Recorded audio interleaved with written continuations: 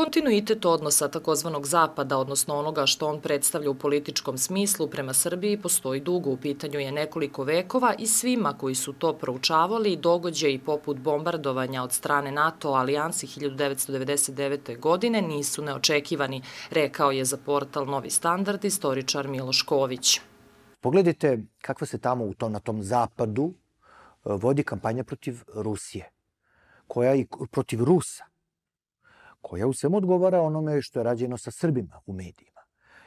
I na, na sablasan način podsjeća na antisemitske propagande iz vremena Hitlera naročito Evrope koja je bila pod nemačkom okupacijom u kojoj Hitler nije morao da prisiljava Francuzi ili Poljake da vode antisemitske kampanje ili Hrvate. E, šta hoću da kažem? E, rusofobija je ključna reč. Oni nas vide kao produženu ruku Rusije. Zašto? Zbog duboko usađenih kulturnih predrasuda. One imaju religijski koren. Mi smo jeretici. Sada je Evropa velikim delom ateizirana. Tako da u novom ateističkom liberalnom pakovanju, multikulti pakovanju imati dalje stare predrasude. U srce te priče njihovo uverenje u njihovu kulturnu izuzetnost. Uverenje da je istorija na njihovoj strani. To sad to je posebna priča, to je možemo kasnije. Oni nas tako vide. Bilo je međutim perioda, naročito u novijoj srpskoj istoriji, kada se na ovom prostoru vodila politika po meri Zapada. Tito. Svetite se da je NATO podržavao Tita, da je Tito na mala vrata ušao u NATO preko Grčke i Turske. Dakle, oni su u njemu videli onoga ko će Srbe da drži pod kontrolom. I zato sva podrška Velike Britanije ili svih američkih država kasnije hrvatskom i slovenačkom delu Jugoslavije, zato, zato njihova, njihova podrška njima, Nemce nisam pomenuo, a veoma je važno, u vreme, vremenu razbijanja, kad su razbili Jugoslaviju. Dakle, ovo to je kontinuitet. To nije nikada pristalo. Na nama je da se otreznimo da to shvatimo. Znači, mnogo nas voli uh, italijanski film ili francuski film. Mnogi od nas su odrasli na britanskom ili američkom rock'n'rollu. I nije to nikakav problem ali kada govorimo o državi, o interesima naše države, o golom opstanku našeg naroda, mi moramo da razumemo da su to države koje su uništavale cele ljudske populacije. Nemačka nacistička je još i kažnjavana za to. Velika Britanija i, i Sjemeričke države zločine nad, recimo na starosedeocima američkog kontinenta, oteti kontinent, tako se zove jedna knjiga odlična. Nikada nisu kažnjeni za to. Odnos prema pravoslavnom svetu prisutan je vekovima, a traje i danas. Ković tu tezu podkrepljuje i ličnim iskustvom. U Stokholmu Vojnom muzeju se čuva jedna uniforma iz 18. veka, sva izbušena šrapnelima. To su ruski šrapneli, uniforme pripadala jednom predku Karla Bilta, koji se borio protiv Petra Velikog u Severnom ratu. To su duže tradicije nego što mi mislimo. Sav je izbušen, a preko puta vitrina sa zarobljenim ruskim zastavama, to su zastave sa ogroman Hristos na zastavi. S druge strane Bogorodica. Oni svi izađu iz te sale, pokazivali su mi to šveđene, šve, jedan švedski oficir u penziji sa ponosom, trofeji, sad čekam da izađu, stanem ispred te zastave i uradim ovako.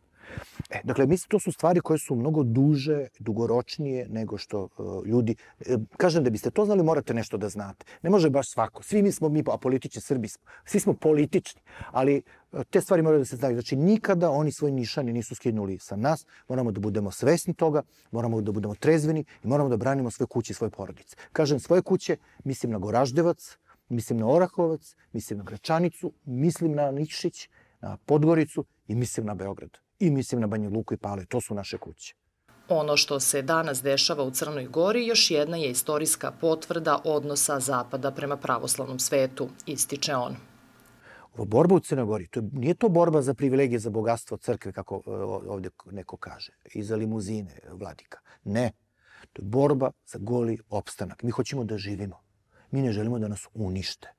Dakle, oni u Crnogori hoće da nas asimiluju u Crnogorce, takozvani, taj novi identitet. Mi kažemo, ok, budite Crnogorci, budite Papuanci, ali ne. Oni hoće vas da ponište, još da vam uzmu svetinje. Znate šta je ostrog? To kad Solana, Bilti i ostali tako govore o ostrogu, znate kakva je to svetinja? Čak i oni koji su ateisti, koji su montenegrini u Crnoj Gori, kad se pomene Sveti Vasilij Ostroški, to je nastala jedna ozbiljnost. Muslimani čak. Muslimani. Ja sam vidio muslimane pod Ostrogom.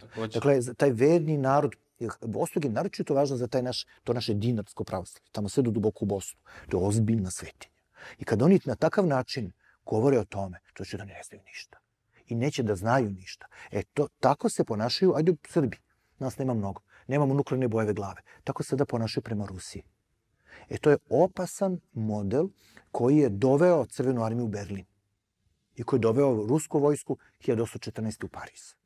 Srbi su, zaključuje ovaj profesor na katedri za istoriju Filozofskog fakulteta u Beogradu, uvek plaćali skupu cenu kada su poverovali da su im, između ostalih, Britanci prijatelji, što se dalo videti na primerima kada su nas 1915. godine ostavili na milost i nemilost Nemcima, Austrijancima i Bugarima ili u takozvanom savezničkom bombardovanju 1944. godine.